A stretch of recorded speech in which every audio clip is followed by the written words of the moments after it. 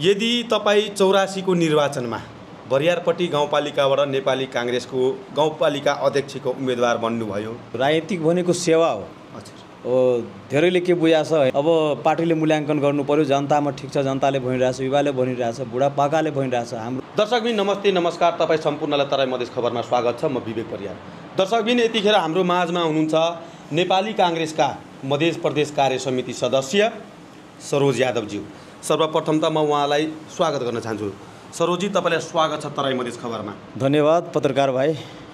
दर्शकबिन हामी उहाँसँग कुराकानी गर्न गइरहेका छौँ। कृपया तपाईँहरू यस भिडियोमा अन्तिमसम्म बनिदिनु होला। सरोजी तपाईँ आफ्नो पालिकाभित्र निकै नै यतिखेर चर्चाको विषयमा रहनु भएको छ। हरेक चौक चौकमा हरेक चिया पसलहरूमा यतिखेर चर्चा उठिरहेको छ। कि सरोज यादव आउँदो चौरासीको स्थानीय तहको निर्वाचनमा उहाँ अध्यक्षको उम्मेदवार भएर आउनुहुनेछ। यसप्रति तपाईँको के भनाइ छ? यस्तो छ। चर्चा हुनु पोजिटिभै कुरा हो राम्रो कुरा हो। मेरो लागि त राम्रै भन्नु पऱ्यो यस्तो छ मैले काम गर्दै आएको छु होइन? अहिलेसम्म युवा अवस्थादेखि आज बिस बाइस वर्षदेखि कन्टिन्युटी अहिलेसम्म राजनीतिकै गरे हो।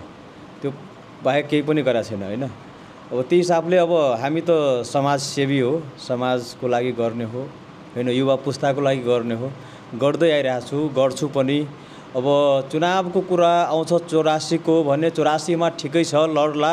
अब सबभन्दा पहिलो मेन कुरा के हो भने मेरो पार्टी जुन पार्टीसँग म आबद्ध छु जुरा छु। मेरो पार्टीले मलाई मूल्याङ्कन गर्नु पऱ्यो नेपाली काङ्ग्रेस पार्टीसँग मैले जुरा छु। मेरो पार्टीले मूल्याङ्कन गर्नु पऱ्यो अब जनताको छ जनताले त मूल्याङ्कन गरिरहेको छ तपाईँको। अब जनताले गरिरहेछ धेरै खुसीको कुरा हो। मलाई धेरै खुसी लाग्छ। किनकि म खटिरहेको छु। दिन रात दिन जतिखेर जसले जहाँ बाह्र बजे रात दिन मलाई जहाँ खोज्छ म उपस्थिति हुन्छु। अब मेरो मेरो त्यही हो। अब जनताको इच्छा र भरोसा मेरो पार्टीले पुरा गर्छ। मलाई विश्वास छ। नेताजी तपाईँ युवाको नेतृत्व गरेर पनि यहाँसम्म आइपुग्नु भएको छ। होइन? र यतिखेर जो युवाहरू लागु औषध दुर्व्यसनतिर पलायन भइरहेको अवस्था छ दिन प्रतिदिन प्रहरीको डाटा हेर्दा पनि प्रहरीको डाटाले पनि देखाइरहेको छ कि धेरै सङ्ख्यामा युवाहरू यतिखेर लागु औषधतिर पलायन हुने लागु औषध दुर्व्यसन सेवन गर्ने जुन यतिखेरको परिस्थिति सिर्जना भइरहेको छ यसले कतै न कतै अब हाम्रो आउने पुस्तालाई एउटा ठुलो धक्का दिनेछ। यसलाई नियन्त्रण गर्नको लागि तपाईँ जस्ता राजनीतिक कर्मीहरूले तपाईँ जस्ता पार्टीमा लागिरहेका युवा लिडरहरूले के कस्ता योजनाहरू या अभियान निकाल्दा यो विकृतिहरू रुक्ला? यस्तो छ। हामीले अहिलेसम्म तपाईँको प्रयास नगरेको पनि होइन प्रयास गरेकै हो। तपाईँको जनचेतनामूलक कार्यक्रमहरू जस्तो कार्यक्रमहरू पनि गरेको हो नगरेको पनि होइन। लाहान पनि हाम्रो पालिकातिर पनि बाहिरपट्टिको जुन नाकाहरू मेरो घर तपाईँको बोर्डरमै पर्छ नाकामै पर्छ। तपाईँको उतातिर पनि कार्यक्रम गरेकै हो नगरेको पनि होइन।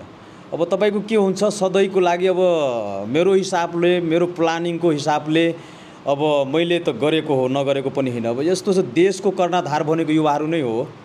अब हाम्रो देशमा जुन युवाहरू हाम्रो पालिकाको मात्रै होइन लिनुपर्ने यो अवस्था तपाईँको देशभरिकै अवस्था गम्भीर डाटा छ। बुझ्नुभयो नि? अब एउटा मेरो पालिकामा मात्रै यस्तो छ भने पनि होइन। तर मेरो पालिका के छ बोर्डरमा छ जस्तो भगवानपुर नवराजपुर बडपट्टी तपाईँको औरही यो सिरहा। यो जुन चार पाँचवटा हुलाकी सडकमा पर्ने जुन नाकाहरू जुन छ नि बोर्डरको त्यहाँको मेयरहरूले सत्रवटै स्थानीय तहसँग बसेर स सत्रवटा स्थानीय तह छ नि हाम्रो जिल्लामा। अब स्थानीय सरकार पनि थाहै रूपले चल्छ है पाँच वर्ष। हाम्रो देशको सरकारलाई त कुनै ठेगानै हुँदैन। दुई महिना चार महिना कतिखेर हुन्छ मैले पहिला पनि भने हो होइन? अब यो अवस्था छ। यो सत्रवटै पालिकाको मेयर साहबहरू उपमेयर साहबहरू जति वडा अध्यक्षज्यूहरू सदस्यज्यूहरू सबै बसेर यसो प्लानिङ गर्नु पऱ्यो जनचेतनामूलकहरू कार्यक्रमहरू चलाउनु पऱ्यो गाउँ गाउँमा गएर टोल टोलमा गएर घर घरमा गएर यसो युवाहरूलाई बसाएर टोल टोलमा बसाएर एक ढिक्कामा युवाहरूलाई बसाएर यो यस्तो हुन्छ यसो जनचेतनामूलक अन्तर्क्रिया कार्यक्रमहरू पढाउनु पऱ्यो सिकाउनु पऱ्यो बुझाउनु पऱ्यो अहिलेको अवस्था यदि युवाले बर्बाद भयो भने हाम्रो देश बर्बाद हुन्छ। बर्बाद हुन्छ होइन? अब नेताजी अब यतिखेर श्रीलङ्का वा बङ्गलादेश जस्तो अब नेपालमा पनि आधी बेरी आउन सक्छ या आउन सक्ला भनेर चिया पसलहरूमा चर्चा उठिरहेको छ। के लाग्छ तपाईँलाई? नेपालमा पनि बङ्गलादेश जस्तै या श्रीलङ्का जस्तै अवस्था सिर्जना होला त परिस्थिति आउन सक्ला त? अब तपाईँको नेपालमा पनि अब भन्ने कुरा हो भने होइन नेपालमा पनि अवस्था गम्भीरै छ नेपालको पनि। किनकि अब जो जुन हाम्रो आर्थिक सङ्कट जुन देशमा छाइरहेछ अब यस्तो अवस्थामा के भन्ने? यस्तो अवस्थामा त जे पनि अब तपाईँको व्यवस्थाको कुरा छ होइन? अब यो व्यवस्था त राम्रै व्यवस्था भन्नु पऱ्यो लोकतन्त्रभन्दा म पहिला पनि भने योभन्दा राम्रो व्यवस्था के हुन्छ? होइन लोकतन्त्रभन्दा व्यवस्था अब हुनै सक्दैन दुनियाँको दुनियाँको इतिहास पल्टाएर हेर्नु योभन्दा राम्रो व्यवस्था कतै पनि छैन कुनै पनि छैन।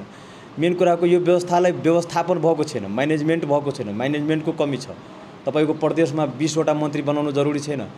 तपाईँको केन्द्रमा यत्रो समानुपातिक पाल्नु प्रदेशमा समानुपातिक पाल्नु यत्रो कुनै जरुरी छैन। यिनीहरूलाई तपाईँको कन्ट्रोल गर्नुपर्छ। होइन अब के उपयोगको लागि समानुपातिक राख्यो? के उपयोगको लागि तपाईँको यत्रो मन्त्री पाँचवटा मन्त्रीले प्रदेश ह्यान्डल गर्न सकिन्छ किनकि धाग्नु पऱ्यो नि। धाग्ने अवस्था छ र म्यानेजमेन्ट व्यवस्था त योभन्दा अब के राजतन्त्र हेरेको छैन हामीले हेरेकै हो नि त। राजतन्त्र हेरेर नै हामी फ्यालेको हो नि त। अब त्यो पछि लोकतन्त्र आयो। लोकतन्त्रलाई के भयो व्यवस्था त राम्रो छ। यो व्यवस्थाले व्यवस्थापन भएन के? व्यवस्थापन हुनुपर्छ म्यानेजमेन्ट अब यो अहिलेको जुन अवस्था छ तपाईँको अहिले अहिलेको अवस्था एकदम डगमडोल सरकारहरू हुन्थ्यो दुई महिना चार महिना छ महिनामा सरकार ढाल्थ्यो बनाउँथ्यो। अब कुनै सरकारले प्लानिङ गर्छ होइन? अब कुनै सरकारले प्लानिङ गरेपछि योजना बनाएपछि अर्को सरकार आएपछि जम्मा हटाइदिन्छ। त्यो भएन कि? स्थायी रूपले अस्थायी रूपले कम्तीमा पाँच साल सरकार चल्नु पऱ्यो होइन? अब त्यो अवस्थामा छैन। त्यही भएर यसो मलाई के विश्वास छ भने दुईवटा दल ठुलो दल मिलेर जुन यो साना साना दललाई अब के भन्नु अब उहाँहरूको पनि यसो छ भूमिका देशमा नभए पनि होइन। तर यो दुईवटा ठुलो दल मिलेर यो दुई तिन साल अब सरकार चलाएर देशको कायापलट गरियोस् भने यसो मेरो विश्वास छ होइन। गरेन भने जे पनि हुनसक्छ क्या देशमा। किनकि अवस्था गम्भीरै हो हाम्रो देशको अहिलेको अवस्था हेर्दा। अन्त अन्तमा नेताजी तपाईँलाई यदि तपाईँ चौरासीको निर्वाचनमा बरियारपट्टि गाउँपालिकाबाट नेपाली काङ्ग्रेसको गाउँपालिका अध्यक्षको उम्मेदवार बन्नुभयो या तपाईँ जित्न सफल हुनुभयो भने तपाईँले जनताको निमित्त सेवा गर्नुपर्ने हो। के के प्लान रहेको छ? यसो राजनीतिक भनेको सेवा हो। हजुर। अब धेरैले के बुझाएको छ होइन अब के बुझाएको छ मलाई अब मेरो हिसाबले अब कसैले राजनीतिक भनेको सेवा हो सेवा हो कि समाज सेवा होइन? अब तपाईँको अब चौरासीमा लड्ने कुरा मैले पहिला पनि भने होइन। अब पार्टीले मूल्याङ्कन गर्नु पऱ्यो जनतामा ठिक छ जनताले भनिरहेछ युवाले भनिरहेछ बुढापाकाले भनिरहेछ हाम्रो बुढापाकाहरूसँग मेरो पनि ऊ छ होइन। मेरो अ, लाई आशीर्वाद छ ठिक छ। आत्मीयता छ। होइन। त्यो राम्रो कुरा हो। तर मैले जनताको हिसाबले के गर्छु भने परिवर्तन त ल्याउँछु नै किनकि युवाले गर्न सकेन भने कसले गर्छ र? हामी नयाँपन देखाउँछौँ। वास्तविकमा के कस्तो नयाँपन जस्तो ल अब बरापट्टि पालिका हो। अब बरापट्टि पालिकालाई मेरो पालिका बरापट्टि पर्छ नि त। अब बरापट्टिलाई तपाईँको हिमालकै मान्छे आएर बरापट्टि भिजिट गर्न आउनु पऱ्यो तपाईँको भारतको मान्छे आएर बरापट्टि भिजिट गर्नु आउनु पऱ्यो अब के त्यस्तो अब के प्लानिङहरू छ? अब धेरै प्लानिङहरू अहिले नै आउट गरेर त्यो हुँदैन। यो मेरो आन्तरिक प्लानिङहरू हो। मैले धेरै भिजनहरू राखेको छु होइन? त्यो छ तर त्यो मैले जुन भने नि मेरो पालिका बाहिरबाट आउनु पऱ्यो हेर्नु पऱ्यो कि यस्तो छ। बाहिरबाट पर्यटक हो। पर्यटक आउनु पऱ्यो होइन? त्यहाँको व्यापार बढ्छ त्यहाँको उद्योग बढ्छ त्यहाँको धेरै कुरा बढ्छ होइन? अब यसो पपुल्यारिटी बढ्छ मेरो पालिकाको। त्यो भिजनहरू छ के? अब त्यो अब यो गर्छु यो गर्छु यस्तो गर्छु भन्न अहिले मिल्दैन। किनकि म अहिले आन्तरिक राखेको छु। अब के के हुन्छ भने मैले दुई चारवटा पहिला पनि भनेको मेरो भिजनले एक दुईजना साथीहरूले काम पनि गर्यो खुसी पनि लाग्छ तर यसो मेरो लागि हुनुपर्छ म अहिले राख्छु। आन्तरिक कुरो हो त्यो। ल तपाईँले आफ्नो समय दिनुभयो त्यसको लागि धेरै धेरै धन्यवाद। धन्यवाद पत्रकार भाइ। दर्शकबिन उहाँ हुनुहुन्थ्यो नेपाली काङ्ग्रेसको मध्य प्रदेश कार्य समिति सदस्य सरोज यादव। पारबाट पनि बिदा हुन चाहन्छु। हस्त नमस्ते नमस्कार।